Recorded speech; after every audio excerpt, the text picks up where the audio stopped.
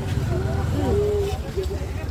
Este hecho sangriento se registró a las 6 y 40 de la noche de este miércoles en la urbanización El Porvenir de Valledupar. De acuerdo a las autoridades que arribaron al sitio y versiones de los habitantes de la zona, la víctima se desplazaba en una motocicleta y fue abordado por dos sujetos en otro vehículo similar, quienes al parecer sin mediar palabras le dispararon a la altura de la cabeza y huyeron rápidamente del sitio. La inspección al cadáver de Rodríguez de la Cruz fue adelantada por la policía Sijín y conducido al Instituto de Medicina Legal y Ciencias Forenses de Valledupar. Los móviles y autores del crimen están siendo investigados por las autoridades pertinentes. Con este homicidio en la capital del Cesar, se han registrado 53 muertes violentas en lo corrido de este 2023.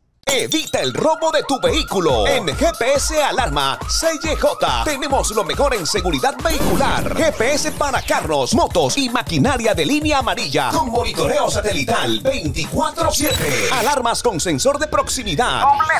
Sencilla. Todas con encendido a distancia. Cámaras de seguridad. Sistema de bloqueo central para puertas de carros. Llámanos 313-803-6453. 305-240-1014. Diagonal 18 de 2050. Los Caciques.